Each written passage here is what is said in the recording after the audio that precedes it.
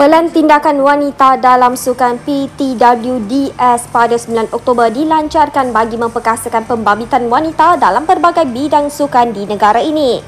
Perdana Menteri Datuk Seri Ismail Sabri Yaakob berkata menerusi Kementerian Belia dan Sukan, kerajaan memperuntukkan 10 juta ringgit untuk menjayakan pelaksanaan pelan itu.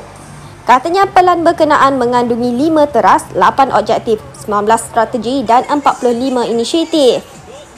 Beliau kata demikian dalam ucapan merasmikan Majlis Pelancaran Hari Sukan Negara 2021 di Dewan Podium Menara KBS pada 9 Oktober.